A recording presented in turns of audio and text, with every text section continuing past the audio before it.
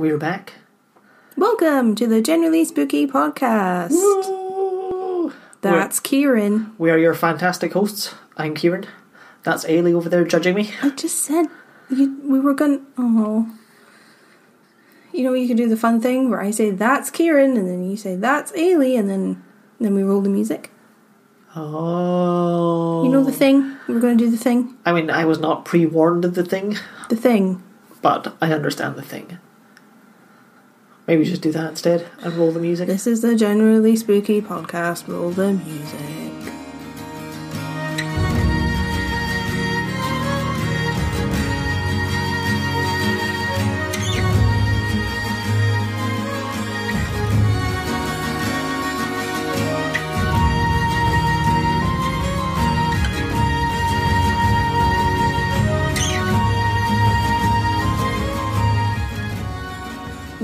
Both drinking tea Yes, we are. because it's officially spooky season and it's cold. Spooky season is very cold. Mm-hmm. Always come on, becomes evident how far north we are when it gets to this time of year. yeah, I feel like you notice the nights getting shorter very quickly here. Yeah. It's where it's about half six and like it's getting dark, and it's only going to get worse. I saw someone on my Facebook who lives near London being like, oh, who hasn't put their heating on yet? I'm like, I would have died. Mm-hmm. It was five degrees. you not have your heating on, but it must be warmer near London. Probably considerably warmer. Yeah, I believe If that. you live in London and you're listening, how warm is it with you? Tell us the temperature. Tell us. We don't want to Google it. And Facebook is down, so Facebook is down. It's all going to shit. I know. And WhatsApp and Instagram. What do I do with my time? I'm on TikTok. That's what I do with my time. Mm, I was just going to say, peace will reign across the world. nope. Everyone will breathe fresh air as they come up out of the trees, like in The Hobbit. so, what do we have this week? Well, we're into October, Yep, spooky season, spooky season. best month bitches. of the year. Absolutely. Eilidh's birthday. Whoop, whoop. Hence the reason it's the best. Yep. Also, your mum's birthday. Also my mum's birthday. On Halloween, no less. Yep. And our wedding anniversary. Yep. It's a lot of good stuff in October. hmm That's why it's the best month. So, we're talking about a haunted castle this week. Ooh. It seems only appropriate I like that. when, I'm you, when you agree. I Haunted quite castle. agree. And, you know, we found out from Urquhart Castle that some castles aren't haunted. So, Yeah, that was a strange episode.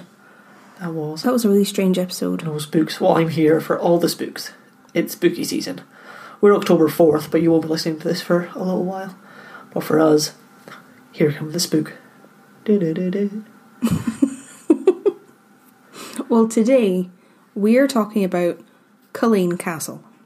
Ooh. Now, I might slip up through this episode because Culzean Castle is spelled C U L Z E A N. I remember it from the master list now. Yes, so it's not spelled Culzean, and I'm reading my notes. So, you know, it might slip through the nets, and I just have to apologise in advance. You can be more American. We're doing Calzian Castle. I can't do it.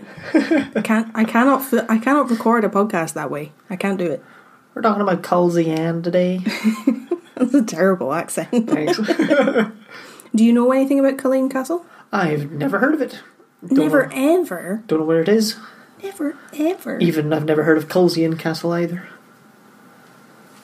No phones during the presentation, please. It's a podcast email. They can be answered after. Yeah, I'm not going to answer. I was just reading it. No phones during the presentation, please. I'm the one giving the presentation. The presentation doesn't happen without me. Well, that's the problem. For your information, it's someone I'm going to talk to about next week's episode. Can I please wait till after the presentation, please? Okay, fine, fine, fine, fine. Phone's away, phone's away. We're talking about Culzean Castle today, which you know nothing about. Nope. And it's near Montrose in Angus. So Okay. further south in here, it's closer to Troon and Kilmarnock and Ayr. Oh, yeah, we did this before with Angus. I'm like, oh, near Aberdeen. No. But no, we did this before with something else in Angus. So that's fine. Yeah, we're, we're down near Ayr. Got you. Uh, and Culzean Castle, it's an interesting place geographically because the castle is right on the west coast. Hmm. On the coast. It is sitting on top of some really big cliffs Oh, cool. with some sea caves immediately below it. Very cool. The cliffs are like 150 feet tall. And I think the estate includes like three miles of the coastline. Damn. So it's a big deal. That is a big deal. If you imagine a haunted Scottish castle, this is what's going to pop into your head. well, sounds like somewhere the famous Five would adventure. Kinda, yeah. And it's it has that look about it because it's a very beautiful castle. So it has that atmosphere about it just by looking at it. You know, this big, beautiful Scottish castle overlooking these massive cliffs on top of these caves. You know, it's very dramatic. Very cool. It actually used to be on the five pound note, Oh. the Scottish five pound note. So you've seen it without even realizing you've seen it, Oh. Now that's just rung a bell. Mm-hmm. Interesting. right? I don't think I can tell you a single thing or person on any of the Scottish currency right now. Well, it's been so long since I paid for anything in cash. Well, that's true. That doesn't help. Not that I examined it overly anyway, but No. yeah. Hmm. I'd have a guess that Robert the Burns is on something. Robert the Burns. Robert the Burns. You're on a Scottish history podcast and you just said Robert the Burns. Fired. You're sacked. Mm-hmm. Maybe we'll just edit myself out. You'll never work in this city again. You know, the Robert the Burns. That was terrible. That was terrible. Well, Moving on. Mm-hmm. The Culzean estate has about 40 buildings on it. oofed. So this place is big. Mm. And in the castle itself, it has a huge armory, which you would love. Very cool. And it has the largest collection of flintlock pistols in the UK. I can't really say a lot about what makes these special because I don't know a lot about guns, but I looked it up, I did my mm-hmm. due diligence, and they're called flintlock pistols because they use a piece of flint to ignite a spark to shoot the bullet, Oh, which I never knew. Hmm. It's actually a piece of flint. Oh, very cool. Yeah. Is that what they like? You cock it back and it pings forward and hits the flint. I mean, maybe. I wonder. I I, re- I just said I don't know. this is all I know.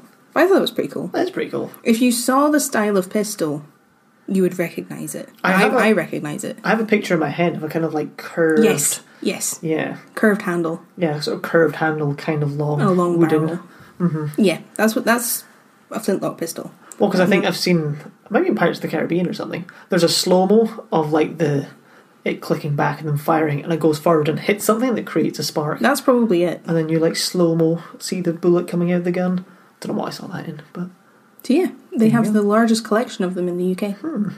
What I hmm? do you know how large? Like, don't know, don't know what the competition is. They could have four. Uh, No, it's like hundreds of them. I think Damn, it, it's a big deal. It's a lot. I saw a couple photos, and the armory is very impressive. Oh, that is very It is. impressive. It is an armory. It, Well, that- everything's covered of every wall. I was just thinking that's very much an armory. If you just had four, I think you just have a cupboard Yeah, rather than an armory, wouldn't you? like a like a display cabinet. Yeah. We have the biggest display cabinet in the UK. no, it's it's a proper armory and it's a very impressive collection. What I really love about the Culzean estate though is that they have these fruit trees mm-hmm. in the grounds that are nearly 300 years old. Wow. I think it said were peach and apricot trees or pear and I can't remember. But nearly 300 years old. That's crazy. Isn't that amazing? That is amazing. Fruit trees. I wonder if they still give fruit. I'd assume so, Yeah. Wow. right? That's awesome. I mean, it's a very minor detail in the story I'm about to tell you, but pretty cool. I mean, it's no armory, but it's pretty cool. It's cool to me. I prefer the fruit trees. Because I'm a boy. Now, from what I could see, Culzean Castle wasn't built to defend from. The castle as it is now, it hasn't seen battle or anything like that um, in its current state. It was built for the prestige and the appearance that it would give to the Kennedy family, who were the family that owned it since around the 1300s, Oh. I think. And are they part of the Kennedys? No, I don't think so. Not the Kennedys. This is a different brand of Kennedy. Hmm. Now, I think in the 1300s it was just it was a building that's called a tower house, mm-hmm. which is exactly what it sounds like. It's just a big house in the shape of a tower. It wasn't a fully fledged castle then, but you know this is another ancient place, like so many places in Scotland are. You know there was something there since the 1300s, possibly even earlier. I read in one place that Culzean's been there since about 1165, Wow, in one form or another. that's crazy. That's nearly a thousand years. That's that's a long time. Wild. Mm-hmm. It's hard to wrap your head around these things. Like anything, I think anything more than a lifetime, and your brain just kind of like can't comprehend the scale of something being there for like seven hundred years. Well, it's like whenever you've tried to explain something to do with space travel to me. Yeah, The numbers are just too vast. I, I can't understand it because I cannot comprehend it. no, it's hard. Yeah, 1165. Now, we haven't talked about him here on the podcast yet. We will, but not yet. The Kennedy family gained a lot of power and wealth after supporting Robert the Bruce during the Scottish Wars of Independence. That's why I thought, I, I know. yeah, that's because in my head like, I knew what you meant. is Robert the Bruce? No, that sounds silly. Oh, well, anyway. So they show that it pays to be on the winning side of history because they did very well because they supported the winning side. Good job. They won the gamble. Yeah, I guess that's what it always is, isn't it? It's a mm. gamble. You never know. The Kennedys were so powerful that in 1457, Gilbert Kennedy was made the first Lord Kennedy. So he was given a title by the king. And he was a regent for King James III of Scotland. Oh, we've talked about him before, haven't we? We have, and we've mm-hmm. talked about how important a position a, being a regent is. It's a big deal. You have a hand in how a king or queen is raised and what kind of ruler they're going to be. Mm-hmm. So, very prestigious, very powerful. I also found out that one of the Kennedys fought for Joan of Arc Wow. during the siege of Orleans. Oh, Orleans? Orleans? Mm-hmm. In France in 1428. that's crazy. Isn't it? Wowee. It's one of those things that I think because you can look at events in time in isolation, but when you see what was happening at the same time in different countries, it can be a bit confusing. Yeah. It's hard to put it all together across. Well, it's hard enough to put it all together in Scotland, isn't it? But yeah, he, he fought in France Wow. with Joan of Arc. Part of the old alliance. Yeah. yeah. In 1509, the Lord Kennedy of the time. Now, this is going to get very confusing. There's lots of Kennedys. I apologise in advance. Oh, here we go again. Uh, Lambs. yes. Who's the other one? I can't remember.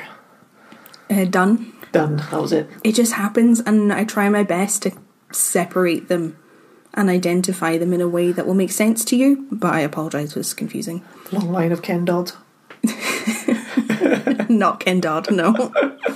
In 1509, the Lord Kennedy of that time was made the Earl of Cassilis, which began that title being handed down through the family, which also makes it difficult to tell them apart because you have all the different Kennedys who have the same name and all the different, like the first Earl, the second Earl, mm. yada yada.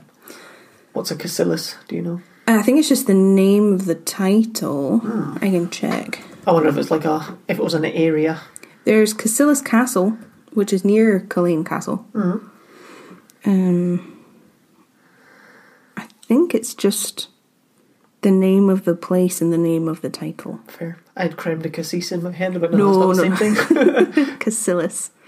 I'll try not to use that too much. Like I said, I'll try and keep hmm. them all all separated.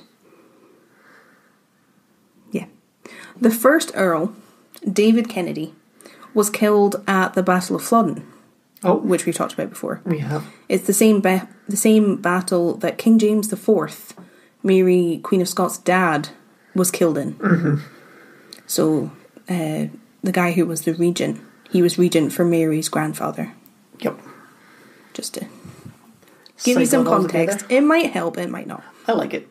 But yeah, the first Earl was killed at the Battle of Flodden, like a lot of Scottish noblemen were, mm-hmm. and like King James IV was.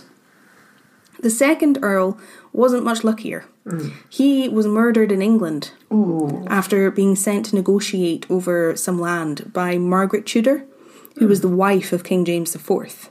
Okay. the older sister of King Henry VIII, Got you. Got which you. we talked about before in our Mary Queen of Scots episode, caused uh, Mary Queen of Scots claim on the English throne Mm-hmm. and all of all of that good stuff. Was Henry VIII, was he Henry Tudor? Mm-hmm.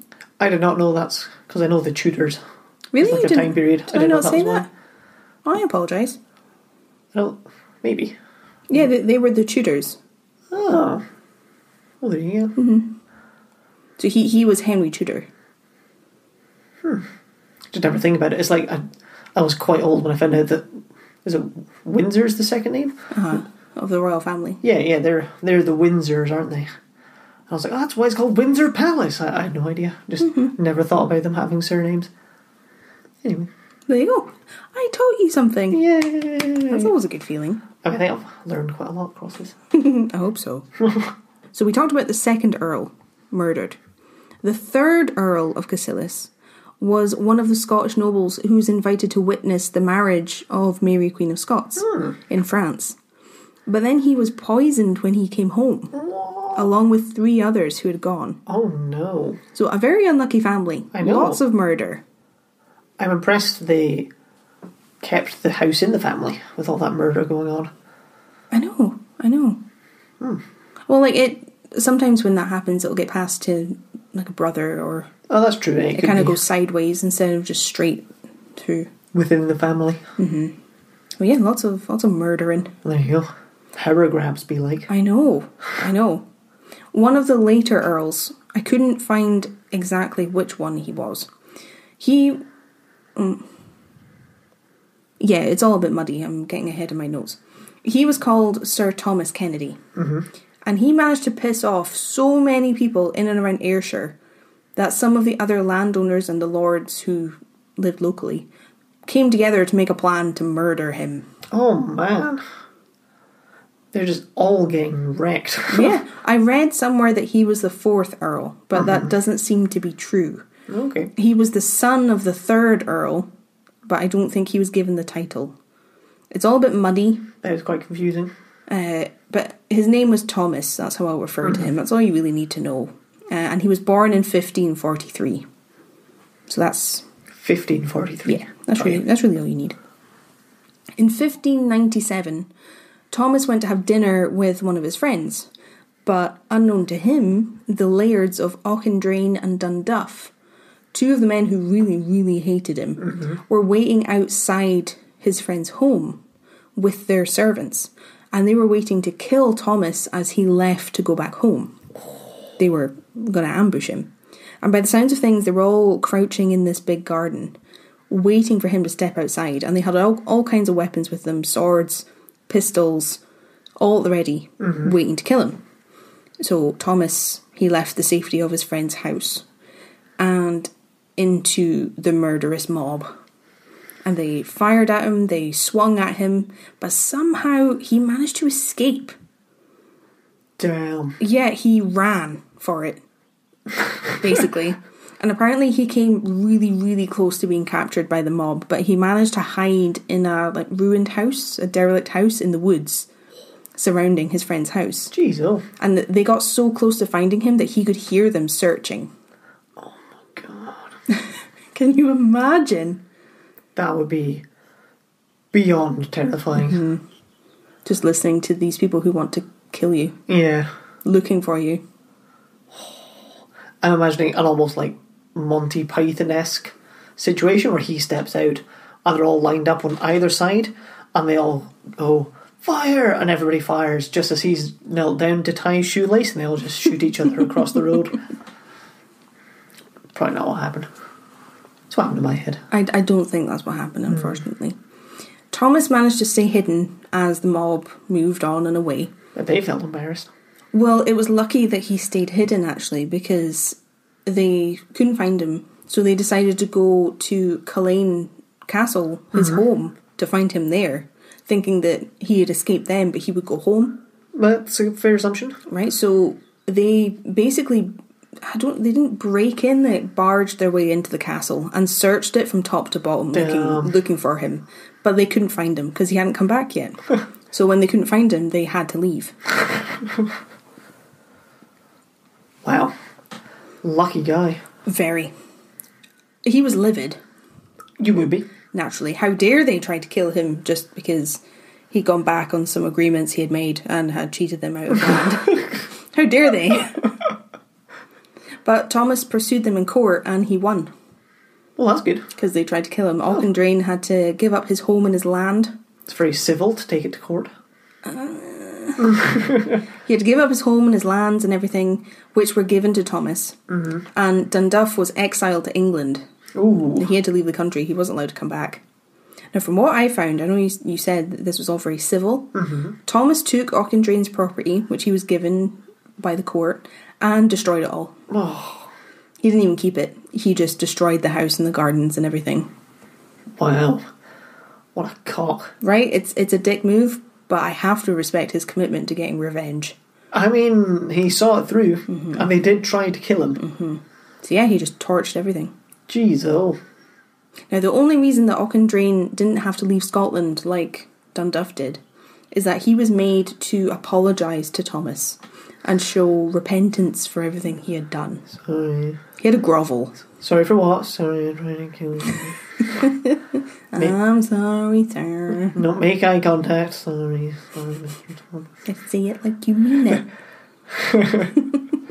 yeah, he, he had to apologise. He had to grovel. And Thomas had to be happy with his apology and accept his apology. So he had to do it properly. And on top of that, Auchendrane was forced to marry his son to Thomas's daughter. Oh, Now, this was try and stop more arguments and uh-huh. more feuding happening in the future because they'd be family. Mm-hmm. But in 1602, just a couple years later, Thomas was murdered. Hmm. I was about to say, can you imagine that family Christmas? Like, oh, once our family, everything will be fine. Nope, No. Oh, nope, nope, nope. Murdered. Murked. And if that wasn't enough, he was robbed and then murdered. And he was robbed to the point where the gold buttons of his coat were stolen. Oh. So was he. I mean, I say unlucky, he was unlucky either way, but was he just unlucky? Did he just get mugged and murdered? Was it targeted? Was it planned? Well, it, it was a comically frightening experience from what I've been able to find, because he was ambushed in a forest and then murdered there.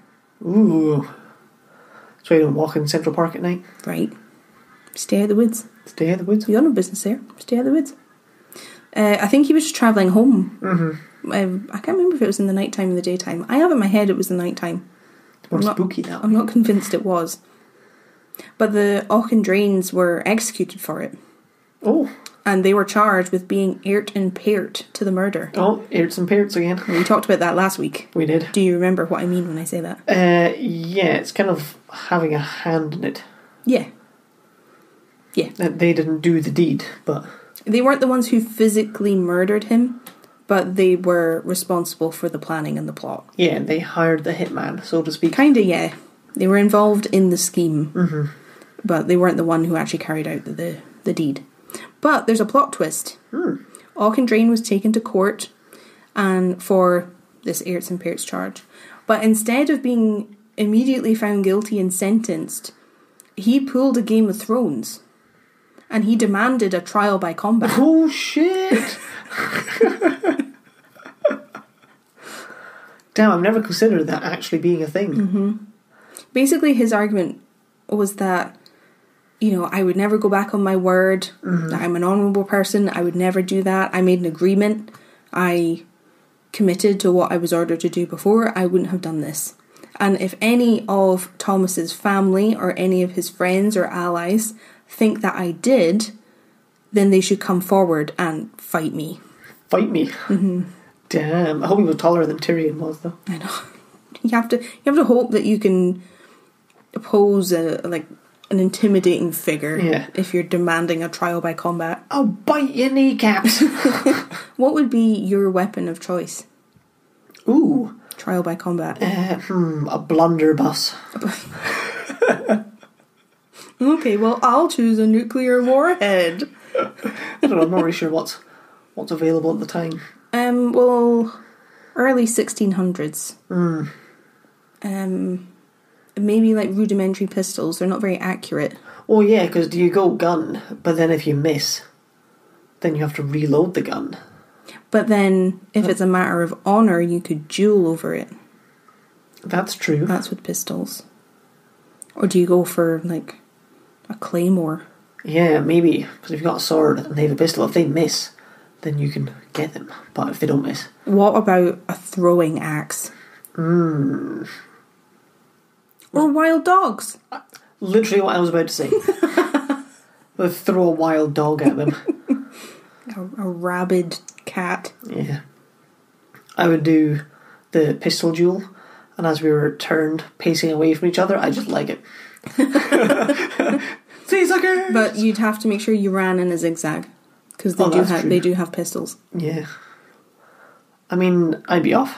They'd still be walking and counting to ten, You are very fast. and I'd be I'd be hundred meters away. I mean, not quite. That'd be. You're very away. quick. I'd be out there. Oh, but would you be wearing armor? That might slow you down. I would purposefully not wear armor. This wouldn't be a mm. spur of the moment. I'll just make a break for it. But then, what if people believed you were going to run because you weren't wearing armor? Well, you can hmm. just what if to everything I hmm. decide all night. Well, basically, nobody came forward to fight Auchendrane. Nobody was willing to die over this accusation. So he was released. Because that's the rules of the trial by combat. Damn, Isn't that wild? that is wild. Oh, that's not what I mm-hmm. expected. No, me neither. I was so surprised. I w- had to look through quite a lot of like contemporary records and accounts from the time to get these details. It was all in like old English. It was quite difficult. I but I'm glad I did because that's a crazy story. Yeah. And from what I could see, it kind of it was a bit of a tangent to the story, so I didn't put in all of it. Pardon me. But from what I could tell, Thomas Kennedy was killed in retaliation for the death of someone else. There was this battle in this ditch, and someone was killed, and Uh-huh. It was all about revenge. All these families were just feuding with each other, and they were all killing each other. Damn. Mm-hmm. If they'd all just let it be, they'd all got, got on a lot happier. Well, they would have lived longer. Yeah.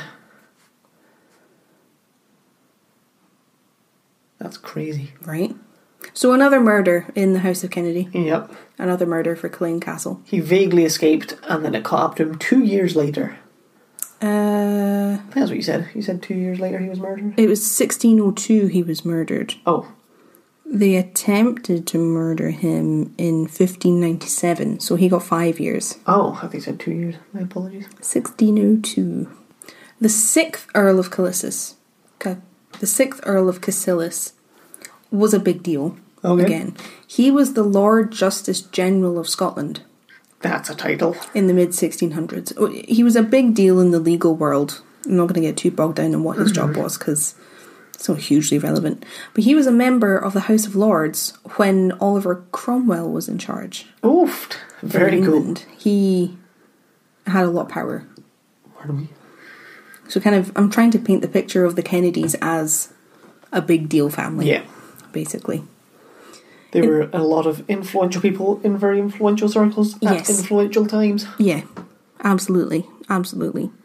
In the 1700s, so we're jumping ahead to like 50 years, the Culzean Castle that you can see today mm-hmm. was built and created by David Kennedy, who owned it at the time, mm-hmm.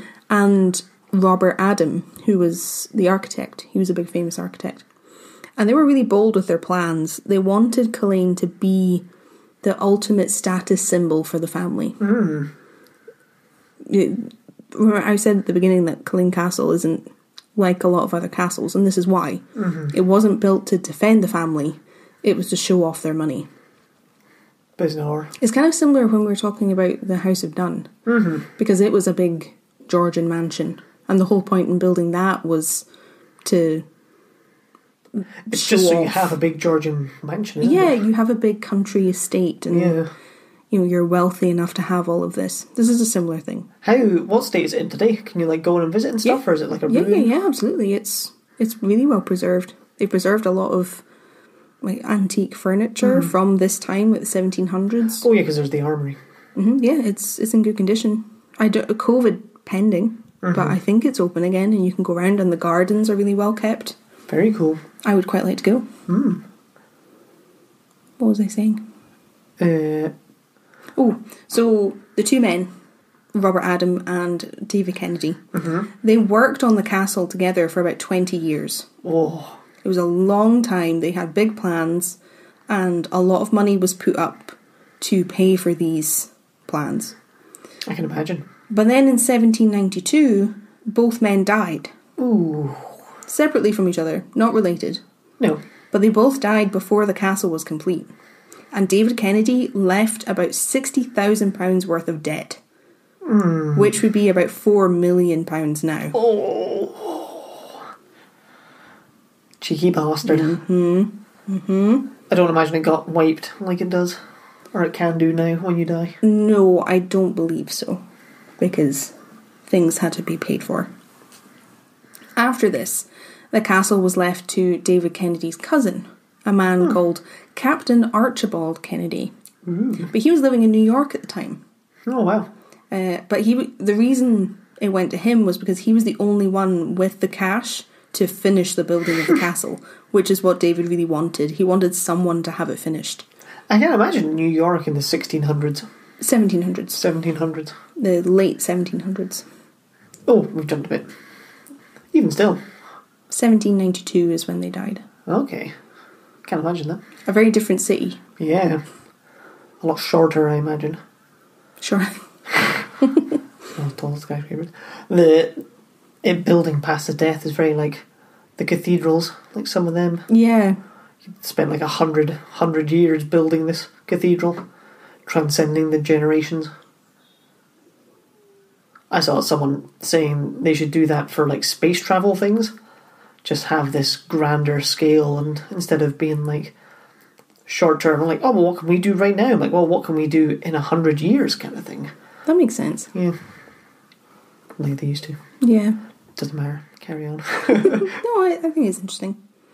Now, it may or may not be related to the wealth that David Kennedy had and then all of the debt. then we'll cut it. Excuse me?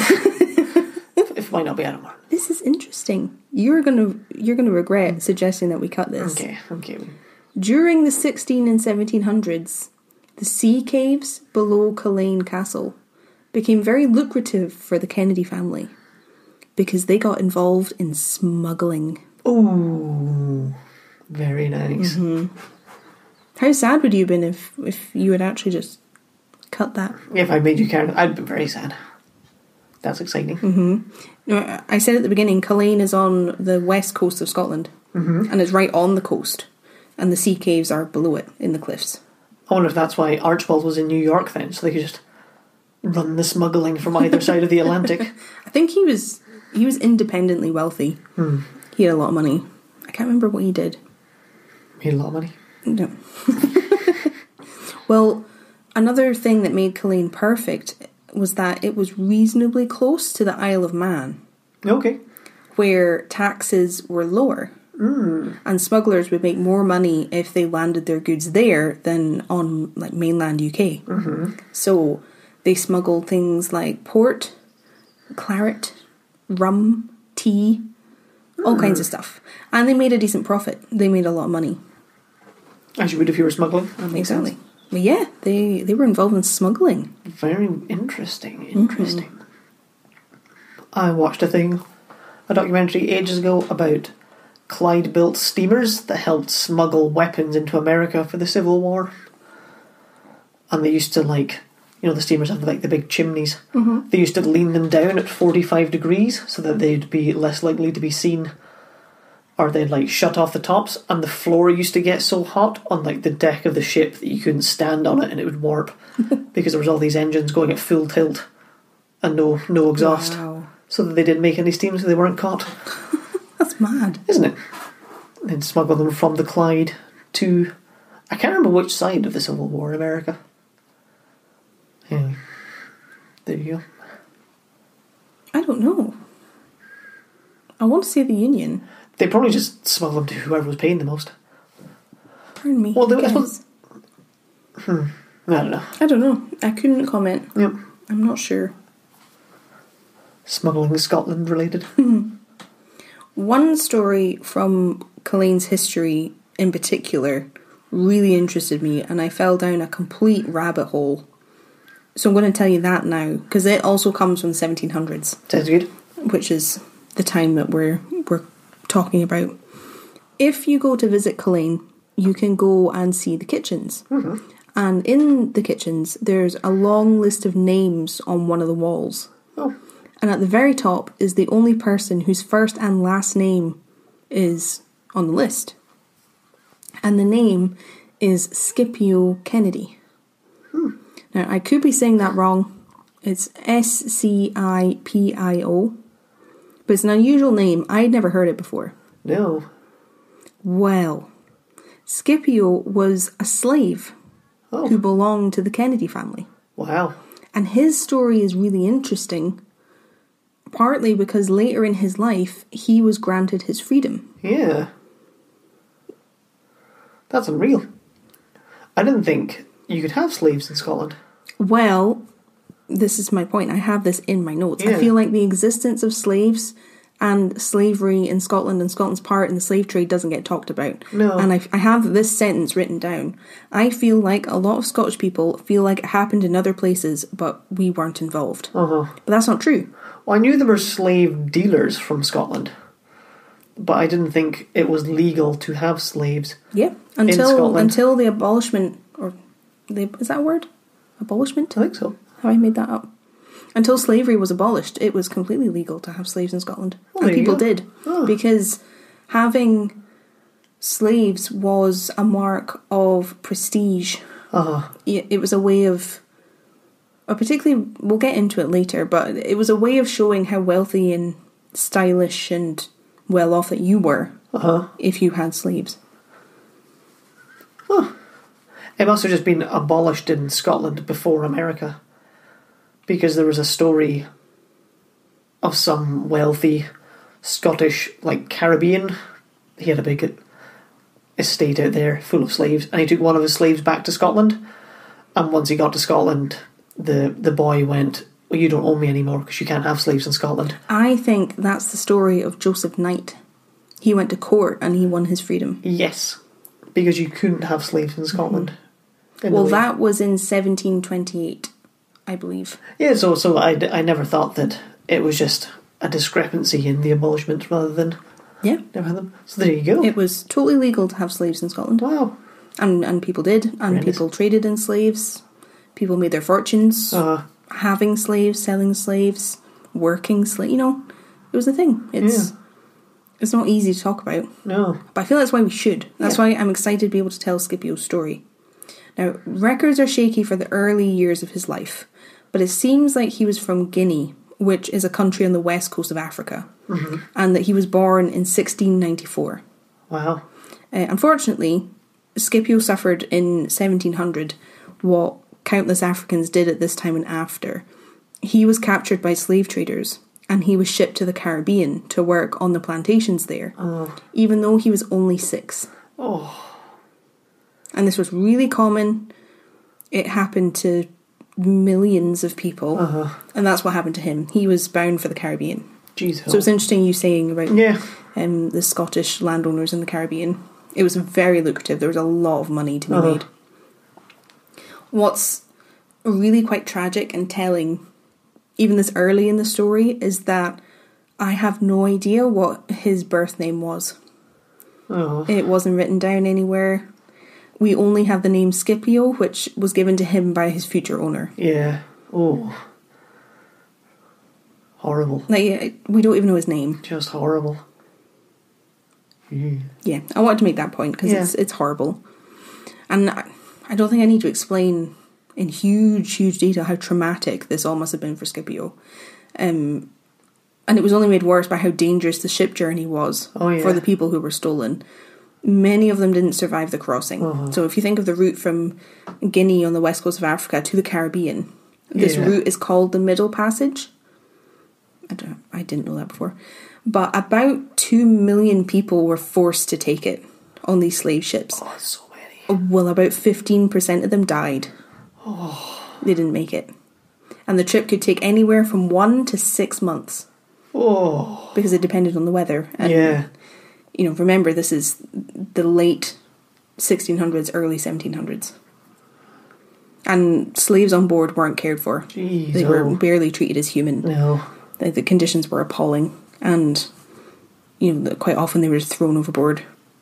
But somehow Scipio survived, even though he was so young. Oh. I saw speculation about maybe he was taken with his family, so he had someone caring for him, or was taken under the wing by someone on the ship Uh, who made sure that he was cared for as best as they could manage. yeah.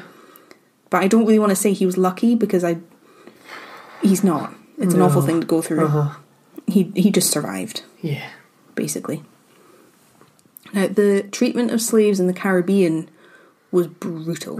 It was bad everywhere. I'm not saying it wasn't, but the Caribbean had a really bad reputation for how slaves were treated because the people who owned slaves, white people, the landowners, Uh-huh. they were vastly outnumbered by black people and the slaves that they owned. Mm-hmm. So they felt constantly threatened by rebellion and uprising and all that mm-hmm. good stuff. So they used violence to make sure slaves were too afraid to step out of line. Oh, jeez. Oh. Yeah. So that's that's where he's headed. Mm-hmm. That's going to be his life. He's only a child. And it's at this point that a man called Captain Andrew Douglas found Scipio in the West Indies and he bought him. And he was actually the one who gave him the name Scipio, which I really hope I'm saying right. I should probably have checked. Now, I didn't know this, and it seems cruel and dehumanizing because I feel like this is now something that isn't out of place for pet owners to do. Uh-huh. Douglas named his new slave Scipio after an infamous, powerful Roman general who was called Scipio Africanus. Oh. He was deemed one of the greatest military strategists of all time. Oh. And it was a trend among slave owners, you know, super chill, to name slaves after really powerful people as a kind of joke to the fact that they had no power. Oh, God. This was really common. Yeah.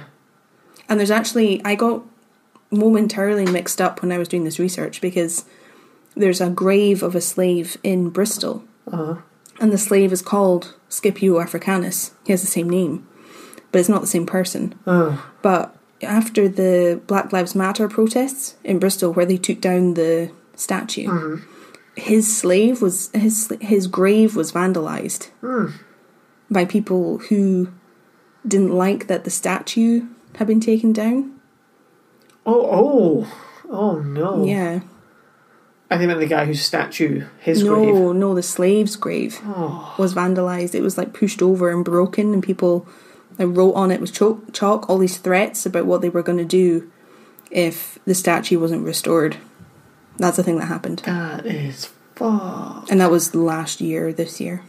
Luckily, money was raised. People were so Uh-huh. upset by this. Money was raised to restore it, and it's been put back together, and it's it's perfectly fine now. But that's the thing that happened, and that's a slave who had the same name as Scipio. Jeez, oh. So that's not technically related to our story, but It's just a thing. Mm-hmm. Oh. but you know that way of naming someone, it's the way you might name a pet Oh, yeah. because it's Water dog's Odin. well, you know, it's like giving a a pet a really like intellectual sounding name Uh-huh. because you know they can't think. Yeah. God. So you think of that happening to a person, and then Yeah. that's the name he had for his entire life. I wanted to get spooked, not bummed out. Well, we need to talk about it. Yeah. It's important. It's a whole part of Scottish history that mm-hmm. nobody really talks or knows about. I will not be judged for including this in the episode. I won't. It's relevant. Yep. So his name's Scipio. in the uh, his name's in the kitchen. Yes. Now, it seems likely that Captain Douglas bought Scipio to be a servant, a hmm. page boy for his daughter Jean. Because this, like I said, this was the fashion at the time. All uh-huh. the best families and all the wealthiest families had black page boys. It was, it showed how wealthy you were. There's loads of portraits of fancy men and women with black page boys in the Yeah. portraits, looking up at them adoringly, like Well, I've seen them. like dogs, like Some of them. Oh. it's it's it was a thing and they were treated kind of like pets like they would be dressed up really nice really nicely and they'd be paraded round for company and all that stuff. So Scipio belonged to Jean Douglas, and Jean married into the Kennedy family, which is how Scipio ended up at Culzean Castle. Ah, okay, yeah. He went with her to her new marital home. And from the evidence that's been found about his life, it seems like Scipio was well liked by the Kennedy family. It appears that they were really fond of him. And he was Jean's slave until 1725, mm-hmm. which is when John, her husband, and Jean granted Scipio his freedom. Hmm. In 1725, this was a pretty unheard of thing to do. Mm-hmm.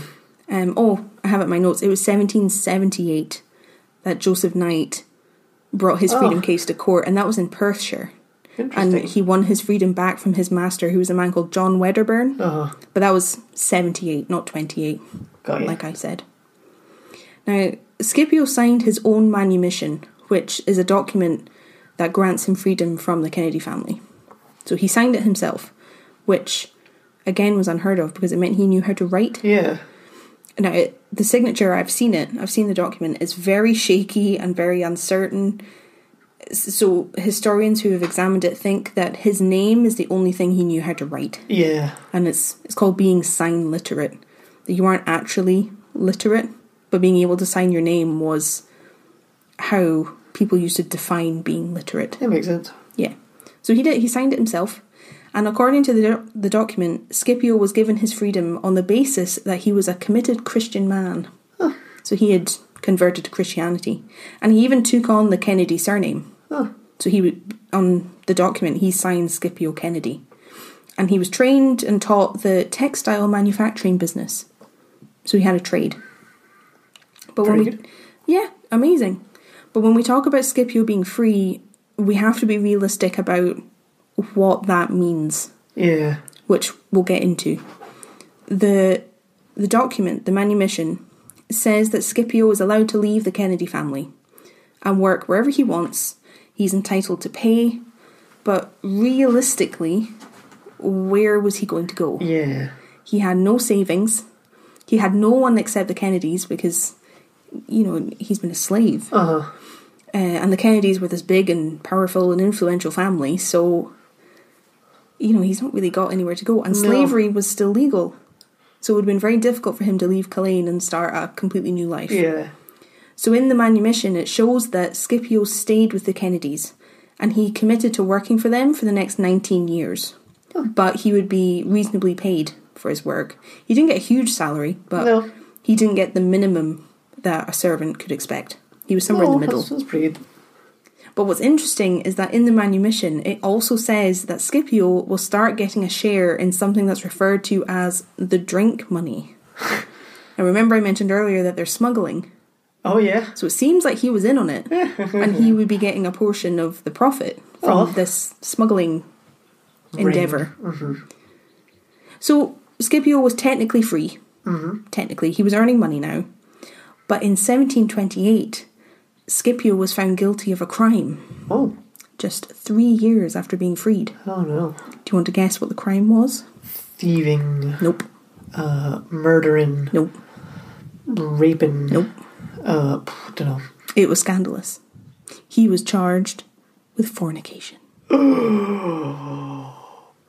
Gasp. Now, before you get too, too wound up, fornication then basically just meant that two people had had sex without being married, which was a big deal at the time, less so now, but that's what he was charged with. He'd been discovered with a woman named Margaret Gray who lived locally, and and they were married a few months after Scipio was charged. And this was also several months after their first daughter was born. So, baby out of wedlock, shock horror. But this was a perk of Scipio's newfound freedom. He was allowed to get married. But his marriage was an important step on another level. Because remember, I said in his freedom document, the manumission, he had converted to Christianity. Uh huh. Well, if you refused to get married after being charged with fornication, you ran the risk of being excommunicated from the church. Oh, no. Now, Scipio isn't a good Christian man anymore and gets excommunicated, his freedom's at risk. Yeah. So it was it was very important that they do this. That makes sense. Yeah. Yeah. In total, Scipio and Margaret had eight children together. Oofed. Not that uncommon for the time, but it mm-hmm. still baffles me. Eight children. I know. It's a lot of children. And a map of Culzean Castle and the grounds from 1755 was discovered fairly recently. Uh-huh. And there was something really interesting on there. There's a small square in the grounds representing a house. And this house is labelled Scipio. Oh, So it looks like the Kennedys built a house for him and his family to live wow. in and, and work. Oh, Now, other people who were around with Scipio suggested that a lot of the smuggling rendezvous happened in his house.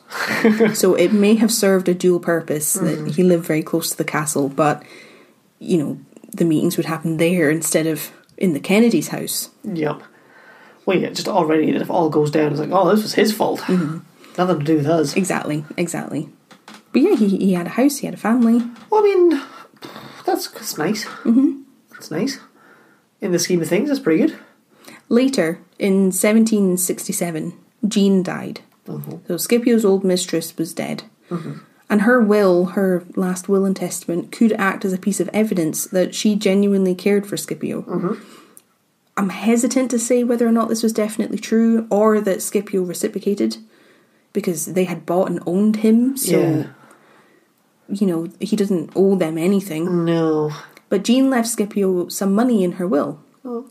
And she left him an amount that was comparable to the amount that she left her own children Oh, wow. Believe it or not, he was left ten pounds, which was a lot more then. That's pretty good. And her children were left forty pounds to split three ways. Oh, So you know it it's comparable. yeah. It's less, but it's comparable. Mm-hmm.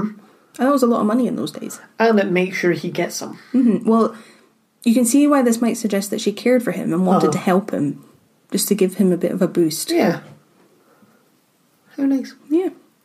Scipio lived until he was eighty. Wow. He died in 1774 and he was buried in Kirkoswald. Kirkoswald? Hmm. It's a small village near Culzean Castle. He was buried there by his son, and you can still see his headstone. His headstone's still there. Now, his house in the castle grounds was demolished at some point. So, when the estate map that I mentioned earlier was discovered, archaeologists were really curious about where the house had actually been. Yeah. And in 2007, after digging on the estate, they found it. Or where they thought. They found Yeah. bits of pottery and glass fragments and things that you would use in the textile business, hmm. which is what he was oh, trained Oh, yeah. in. So it seems like they found where his house was. Very cool. Now, I just thought that was such an interesting piece of Culzean's history. Yeah. And it's, def- uh, it's not a typical story you'd hear about Scotch Castle. So I hope you don't mind that I told it. I like it. I thought it was very interesting. So, who were the other names, do you know? I don't. It was the list was names of servants who had worked in the castle, and nobody else had their full name on there Yeah. except him. He had Scipio Kennedy right at the top. Hmm. So yeah, that's that's Scipio's story.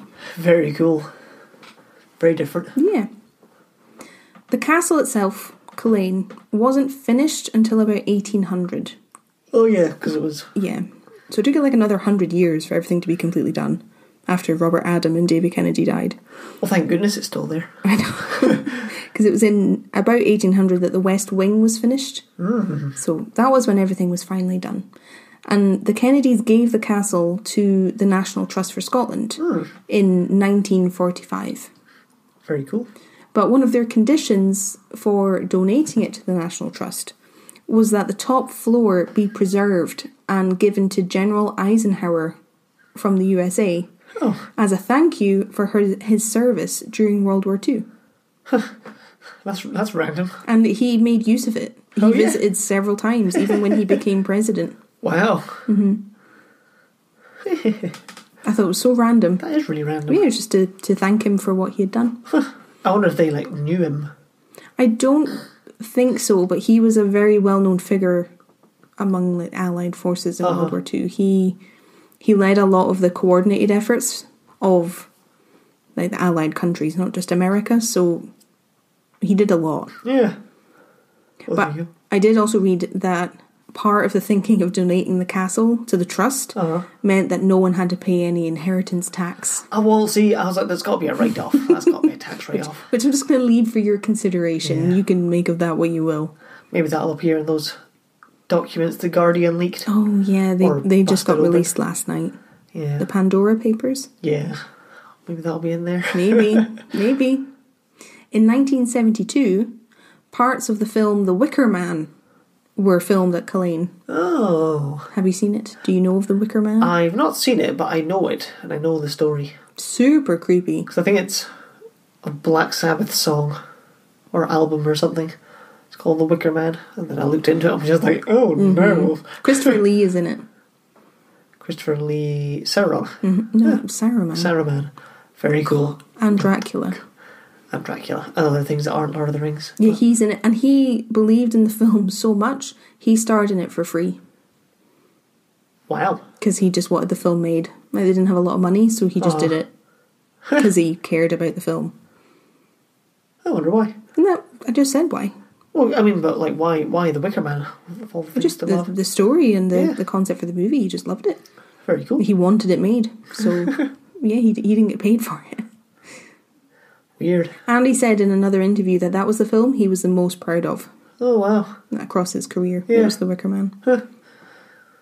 I like that. I mean, we should do some kind of live stream or something where we watch it together. Ooh, spooky. It's the perfect time. It's spooky It's, season. it's a really creepy movie.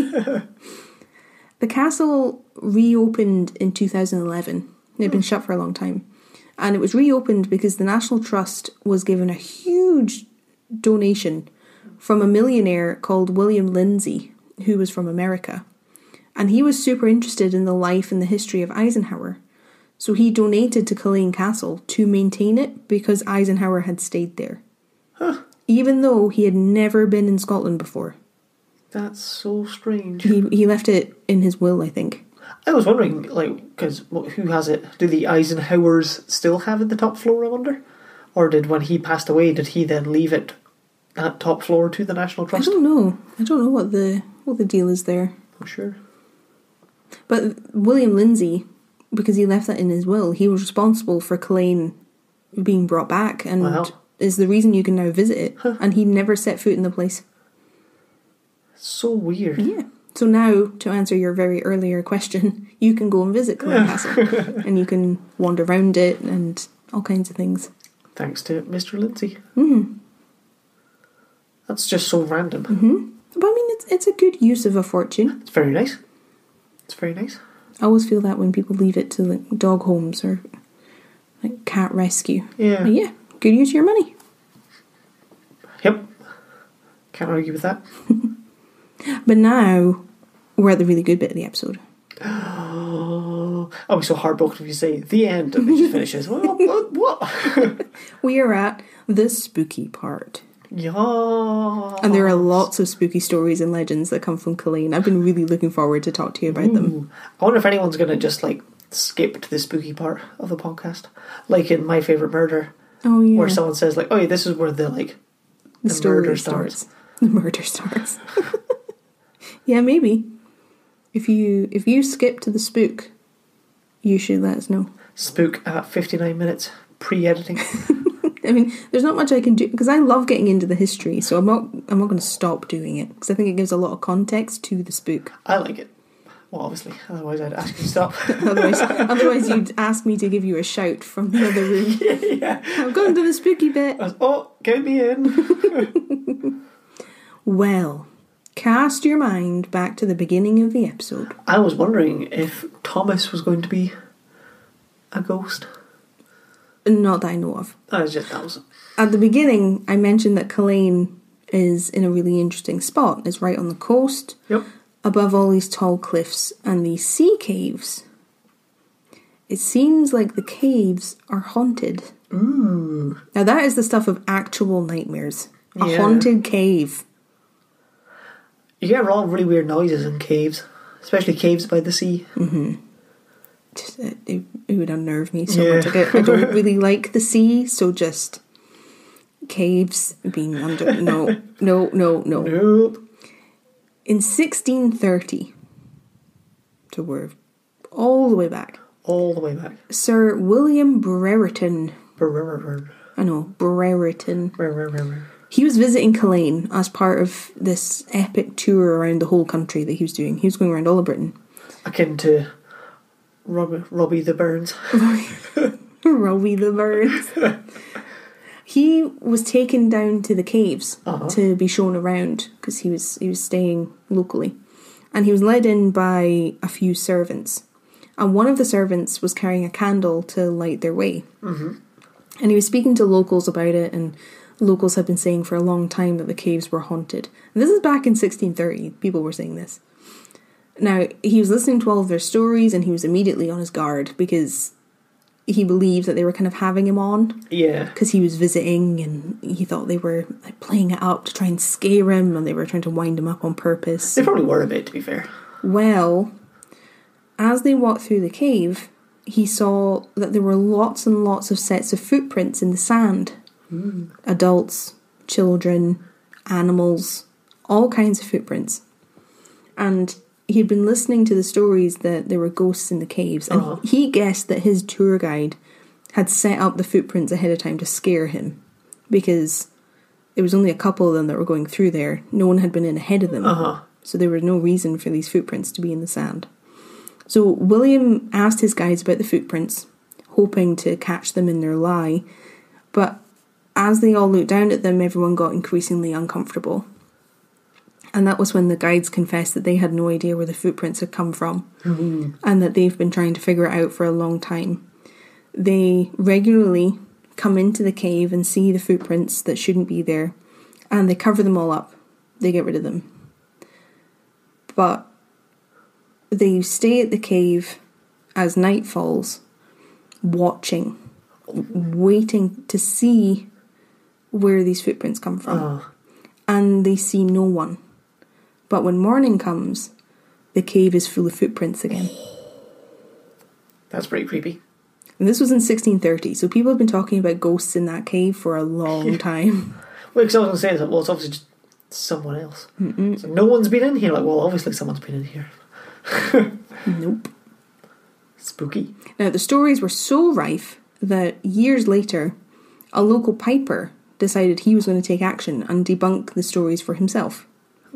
Now, everyone was so convinced the caves were haunted, and he basically said enough was enough. um, he wanted to debunk it. I will say, I've only just made a connection in my detective brain.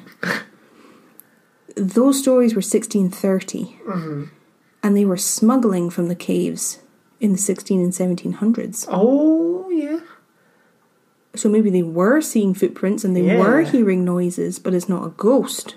Smugglers. Mm-hmm. That would make sense. Because that's pretty common. Yeah.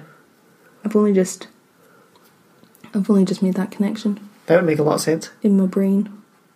But that doesn't explain this part of the story. He the local the local piper, he was gonna debunk it, he was fed up of people getting scared and talking about it. He wanted to deal with it. And he had a pretty good plan because you know, these caves are all part of a network. And you can get into these caves from a hill sort of further back. I think it's called Piper's Brae. Um, you can get into the caves from down there and then make your way to the the exit. And they're named after this guy. Ooh, Maybe. so he decided he was going to go into the caves at the entrance near Culzean Castle, and then he was going to emerge from a different exit, and he was going to pipe the whole way, so people would be able to hear him in the caves, Uh, know that he's made his way through, realize that y- you know it's just a cave, and then it would be dealt with. It would be over. So a crowd Okay, gathered okay. to watch the piper go into the caves as he started to play, uh, and he disappeared into the dark with his dog. His dog went with him. Now, as time passed, the crowd could hear the pipes playing as he was making his way through the caves. it'd be so loud. Pipes in a cave. Exactly, but that was the point. yeah. and they could hear the dog. He could even be heard at Culzean Castle itself, they could hear him. But then the music started to fade until they couldn't hear anything anymore. Ooh. Now, naturally, the crowd assumed that he had made his way out of the cave to the exit that he had planned and they just couldn't hear him anymore. So they went to check and to talk to him. But the piper was nowhere to be found. And a search party went into the caves to find him and he was never seen again. Oh. Or his dog. Oh. That's pretty creepy. Mm-hmm. Spooky. So now, a lot of people claim that they hear piping from the caves, Oh, yeah. but you know nobody's ever there. And there's a, a legend that whenever there's a wedding in the Kennedy family, they hear piping the night before. Oh. The ghost piper. And if you're not aware, piping at a wedding is traditional. As a tradition. Mm-hmm. And some people have even seen a man standing on what is now called Piper's Brae near the castle, completely alone. He just stands there. The lone piper. Mm-hmm. The ghostly Piper. We ought to pay the piper.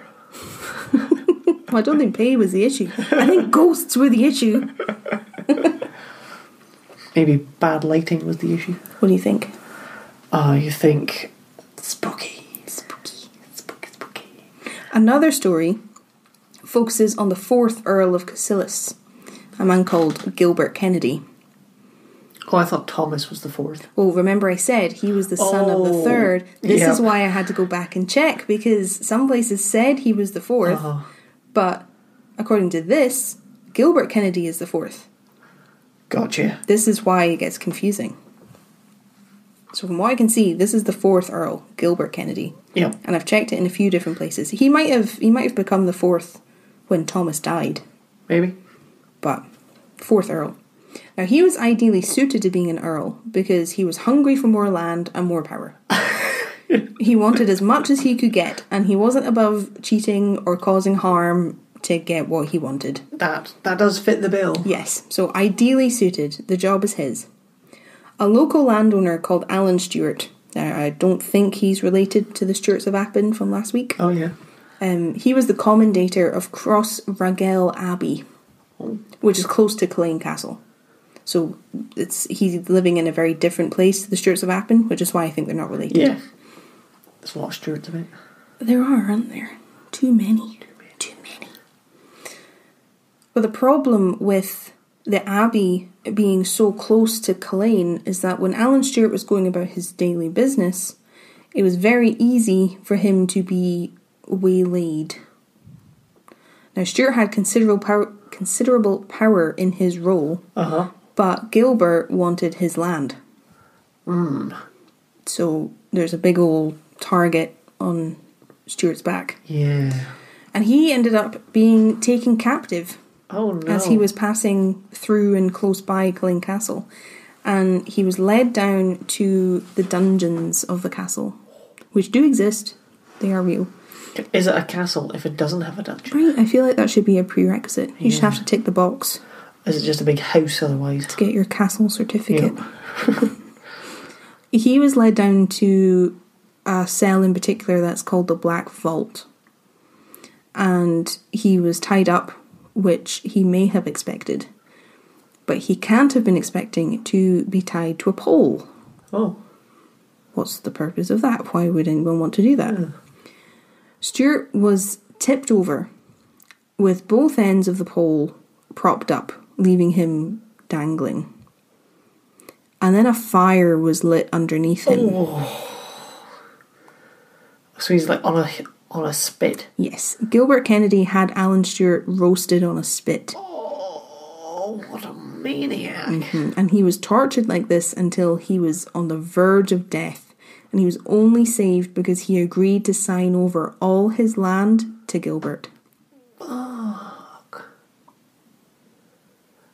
Oh, what what's a what's a commendator of an abbey do? I tried to work it out and I got a lot of confusing information. I think he was just an important figure. He had authority where the Abbey was concerned, but I don't want to say anything with conviction because I really don't know. Because I was thinking, like, surely you can't roast alive someone of the church. And well, no, I don't think he was a clergyman, Oh, yeah, but I, I couldn't tell you with 100%. it might just be that he owned the land the abbey was on. Poss- I can't. com- he accommodated the abbey Well, it was on his, commendator.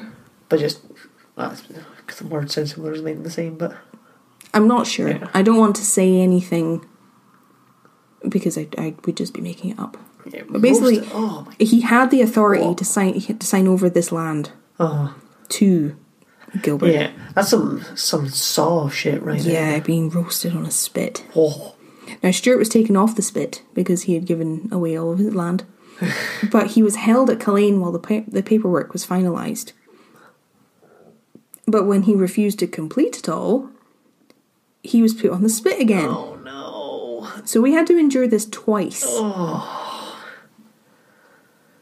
Oh my god. Mm-hmm. What, I wonder if he's hoping, like, oh, he's bluffing. He won't actually. I suppose if he did kill him, he wouldn't get the land, would he? It would be in his will. Oh, Which is why he nearly killed him. yeah. Eventually, the Privy Council in Edinburgh heard about what Gilbert had done. So remember Back to the privy. when we were talking about the witchcraft trials? Yes. That it all went through the Privy Council. They heard about what Gilbert had done and they were horrified. So they forced Gilbert to pay Stewart £2,000 for what he had put him through. Which remember is It's it's a lot, but mm-hmm. as well as paying him a pension monthly for the rest of his life. oh well, something at least. But for some strange reason, Gilbert was allowed to keep Alan Stewart's land. Oh, Horrendous. Mm-hmm. Oh, So now, at the castle, people have heard and claim to hear really vicious, awful screaming coming from the dungeons below. And the sensation of feeling or hearing a crackling fire, even though there's definitely not one down there. Can you imagine the smell? Bleh. It's like Stewart's torture seeped into the stone Yeah. and never left. Can you go down to the dungeons? I wonder. I don't know if that's part of the tour. I would assume that you can Yeah. because it's all been kept well. But this is people hearing screams from below without necessarily being there. So they're just hearing it from below them. These really agonizing, painful screams. God, mm-hmm. that's horrendous. I can think a few things worse than hearing that. No. I, ju- I can't. I can't even imagine. Can you imagine at the time just being like a servant in the castle? Uh huh. And there you are, just like doing the laundry, and you're hearing this happening. And you just have to be like, yeah, this is fine. Just see no evil, hear no evil. Well, you don't I'm, get I'm minding my own business. You don't get an opinion. No. You are less than. You are below than. And you would not be thanked for giving one. God. Right. Horrendous. Now, the castle itself, so that's underground and below, Yeah. and the piper has been seen and heard in the caves. Awaiting payment. Yep. The castle itself has lots of phantoms in different places. A little girl has been seen running up and down the halls near the kitchen, out of like the corner of people's eye. They see her, they hear her, but no one really knows who she might be. Uh huh. But this might be a bit of a, a turn for us, but the group from Most Haunted investigated Culzean Castle in 2002 for their first season, so it's it's early. Hmm. Now, we did discuss this earlier. We did. I am open to us sitting and watching the episode so that you can talk about this in real time for the podcast or we don't we don't have to. Obviously we won't put you through the whole 20 minutes if you're listening to this because copyright is a thing, but Kieran and I have discussed watching the episode together because I've seen it. No, I think it'd be too cringe. I don't think I can do it. Okay. well basically I hated it. yeah, you It was awful. you said you were watching it and you were you were laughing. I was, was la- I couldn't help it. I was like cackling, laughing. I'm not a most haunted fan. I used to be when I was a lot younger. I'm not now. But in the episode, No. they chat a lot about orbs and lights, Oh yeah. and they show like it, it's dust. It's just it, it's dust. And Derek Acorah, their psychic, has a lot to answer for. He reels off uh, all these ghosts that he's encountering in the building, but it's information that's widely available about the history of the castle and who lived there. so he's obviously researched it ahead He's of done time. his Yes, because he like says, "Oh, I'm, I'm picking up on a piper. That's really strange. A piper. There's a piper." But it's oh, well, what's his name? Oh, well, he's just he's just the piper, and he's this, but he has he has red hair. You know, like all Scottish people do. I know, like all stereotypical Scottish people do. And then there's a moment where he like really abruptly he takes off his ring and like puts it down on the table. He's like, "Why did you make me do that? Why did you? Oh, is it a wedding band? Are you are you trying to make me think of weddings? Because there's a legend about the piper playing at weddings. God, it's just like really bad cold reading, Oh, it? it just I had to laugh. No. And that's not me trying to say all psychics are terrible. That's not. This is based on this one episode that I watched. It was awful, and it just made me laugh. It was really cringe. Too cringe. Oh no. No, no, no. Mm-hmm. So no. they went and I say this very sarcastically. They investigated all the castle ghosts. They went and got spooked. They did. There was so much gasping, so much gas. oh my god! Oh my god! It just they lost their shit because a burglar alarm sensor went off. Like the light, it was just the light flashing, and they lost their mind. Oh my god, what is that? That's it's just a light. Yeah. Oh no. So I found other sources for these ghosts and ghost stories. more useful, You'll be pleased to hear. uh, uh, uh, reliable sources. Yeah. Yeah. A paranormal investigation group from Cumbernauld Oh, investigated Culzean in 2005. And I haven't heard the recordings, but they captured several in what's called the Earl's bedroom. So it's like the master bedroom. the master bedroom. And the recordings sound apparently like screaming and hissing. Ooh. Mm-hmm. That's got some nasty connotations to it. Hissing, don't like that. No. A man called Bill Rogers, who worked as a guide at Culzean, retold some of his experiences for the National Trust website. Oh yeah. So I thought I'd tell you those Uh-huh. just now because, you know, he's telling his own stories. So this is the first one. A young family stepped into the room that I was monitoring. The mother cautiously asked if the previous room, the blue drawing room, was haunted. I asked why, and she said, You'd better speak to my husband. he looked quite shaken and told me he'd been helping their two children look for Lego figures hidden in the castle. You know, like a like scavenger hunt type uh-huh. thing. You're just stealing. No. when he noticed movement out of the corner of his eye. He saw a writing desk with two inkwells and observed one of the lids slowly closing as the other one was slowly rising, with no one apart from his family in the room. Ooh. He resolutely refused to return to the room to show me what had happened. That's pretty weird. Mm-hmm. I like that that's so minor. Well, I like that one because it sounds like how you would react. So I'm inclined to believe it. Yeah. There's something about it. It tends to be like men in these stories. It's a man sees something weird, is just like, what the fuck was nope, that? nope, Yeah. nope, nope, nope, nope, nope, nope. Packed up his nopes and got the fuck out of there. Yeah.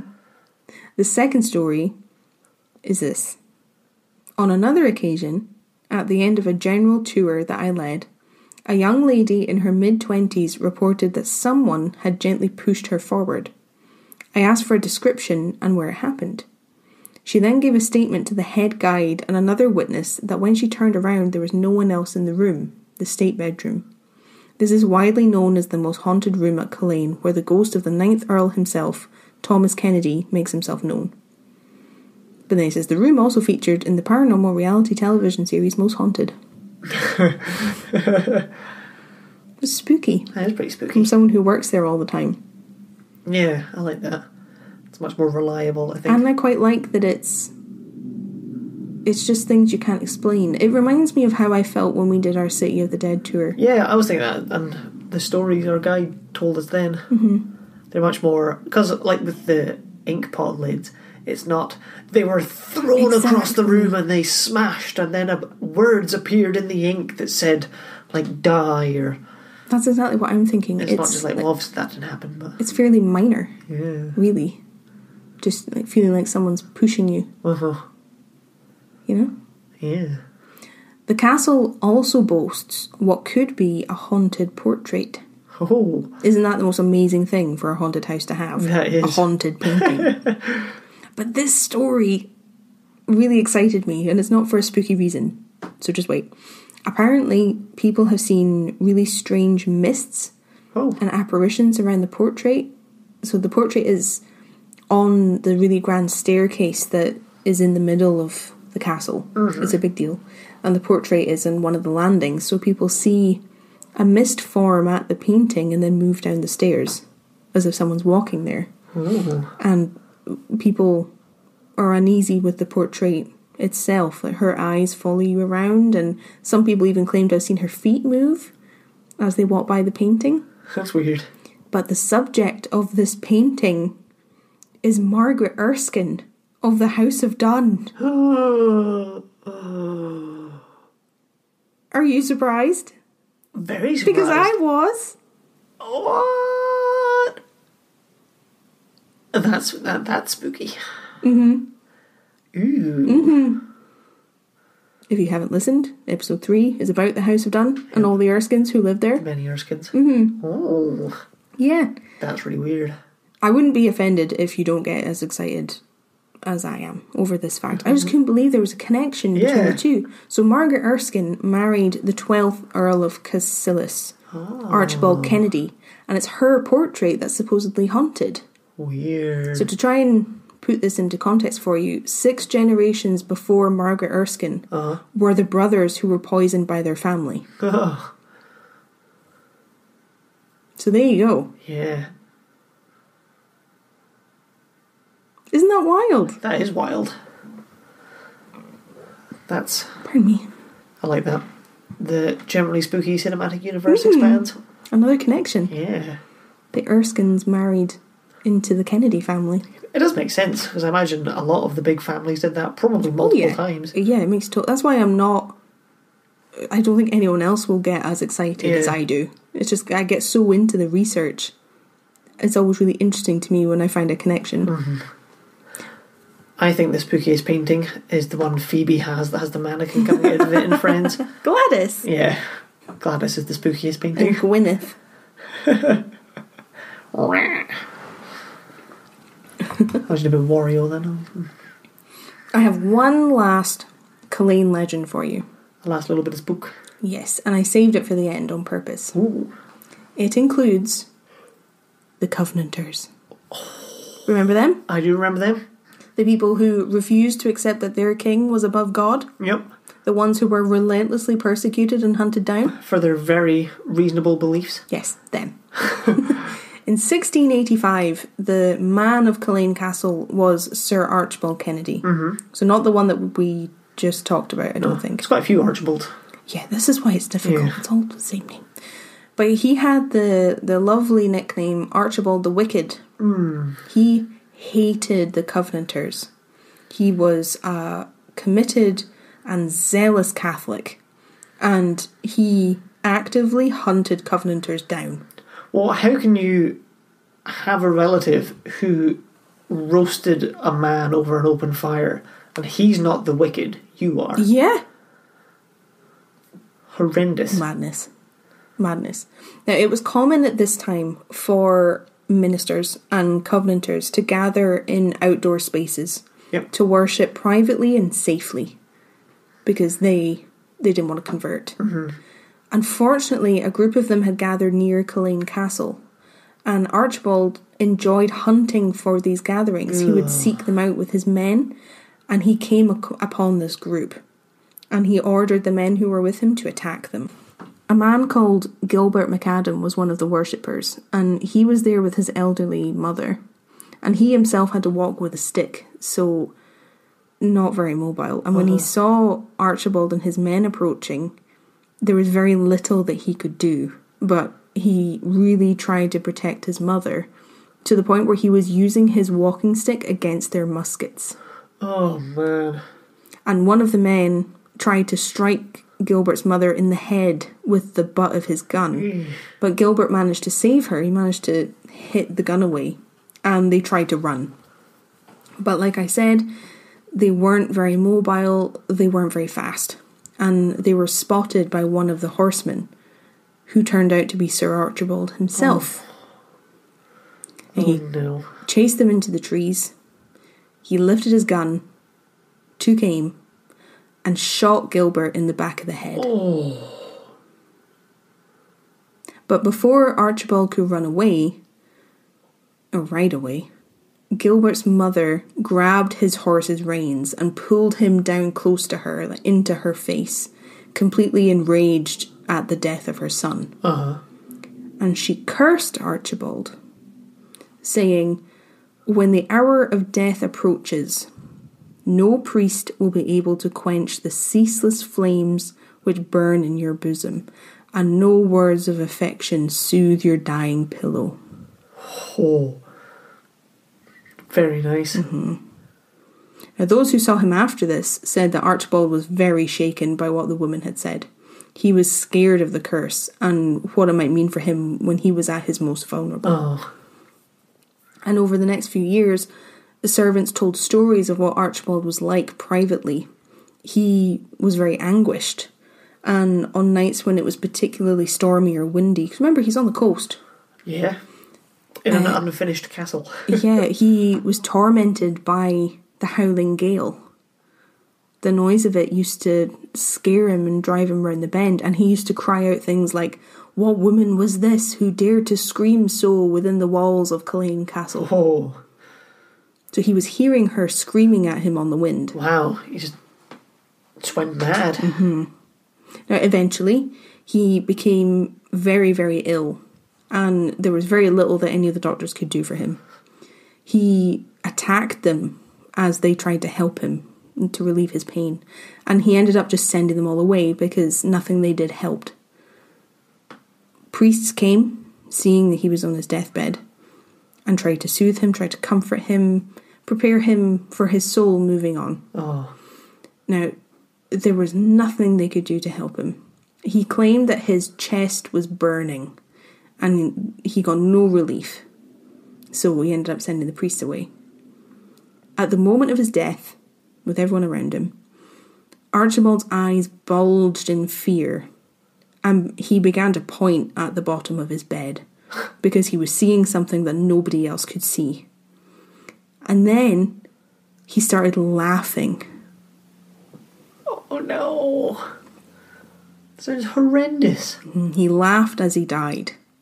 And after he died, everyone who was there began hearing this unearthly cackling echoing around the room.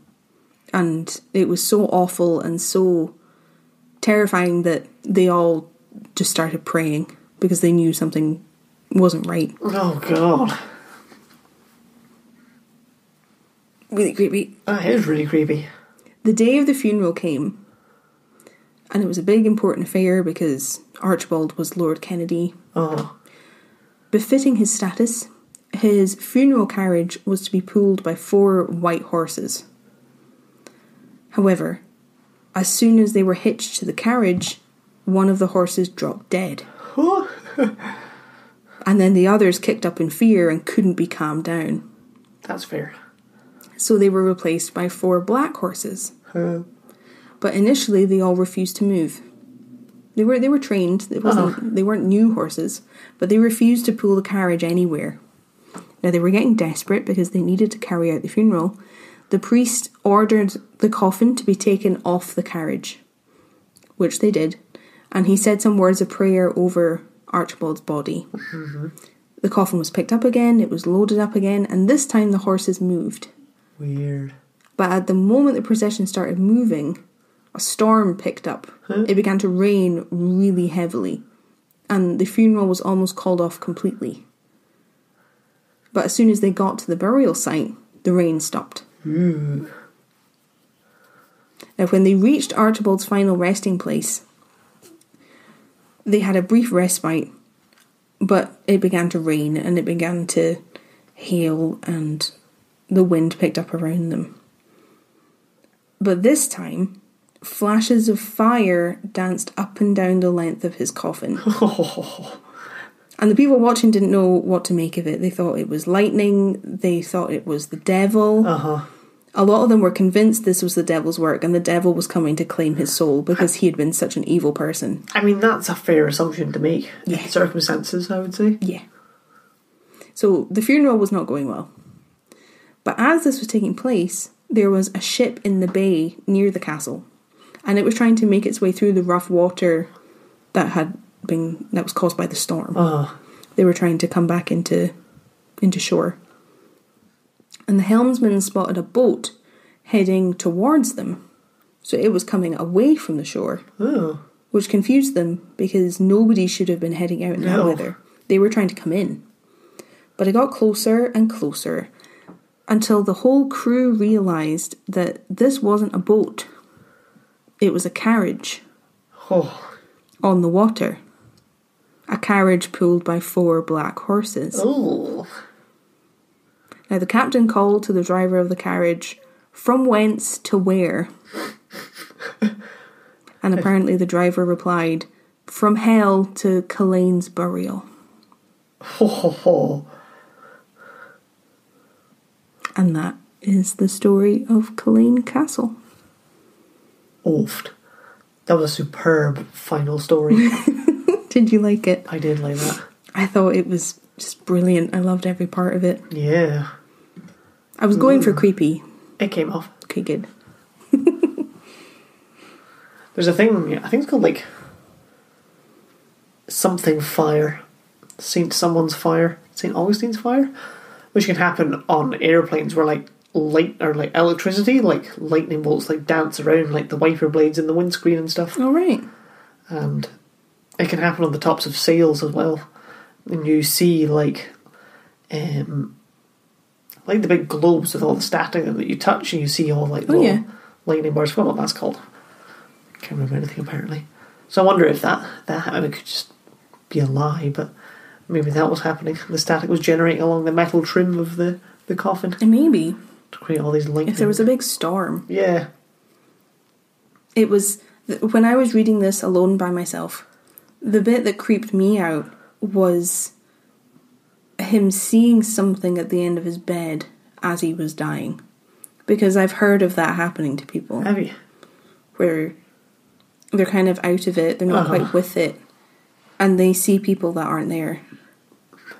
And they like talk to people that aren't there. Uh, I've heard lots of people talk about that before, so that really creeped me out. that is really creepy. And then the laughing The laughing's as you as you die. the creepiest to me. Like that would that would freak me out. Very creepy. Because at the bottom of the bed is it's kind of like sleep paralysis that can happen. Or when I had really bad flu and I thought I, I could see myself standing at the bottom of the bed. That was Oh, pretty yeah. weird. It was awful to hear about. yeah. I hate. I mean, it can't have been nice for you, but Yeah, I, I hated all of that story. I walked around the bed to turn off the light, got back into bed, and then I was like half awake, half dreaming that I could see myself doing that, but from within the bed. I was really unwell. yeah, I think that was the most unwell you've ever been. I think so, yeah. Flu. A couple of years ago, pre-COVID. Pre COVID, just good old fashioned flu. that was weird. But yeah, that that was Anyway. what creeped me out the most because I've heard of that happening to people in more modern times. But sometimes it's nice because they see people that they've lost, Oh, that's nice. so they're talking to them. Uh huh. But it's just very unsettling. It is very unsettling, very creepy. But that's Culzean Castle. That's Culzean Castle. Did you enjoy hearing about it? I did enjoy hearing about that. I want to go and visit. It's a very interesting place. Big time. Very interesting. Yeah. Very old Oh. and very murdery. And quite murdery, it has to be said. Guy sounds like an asshole. Which one? Well, that's true. Which one? All power hungry dicks.